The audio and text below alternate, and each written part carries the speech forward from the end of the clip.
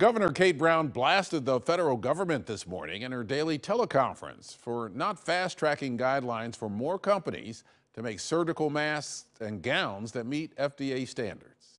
Right here in Oregon, companies have the experience, the facilities, and the equipment to scale up manufacturing of PPE right now. So the question is, what's the barrier? And from our perspective, for what we're seeing, uh, it's frankly the federal government. Governor Brown said without FDA guidelines, companies don't have liability protection and healthcare workers can't rely on the safety of the equipment. The governor also says that employees who don't believe their companies are following social distancing guidelines should file complaints with the State Bureau of Labor and Industries.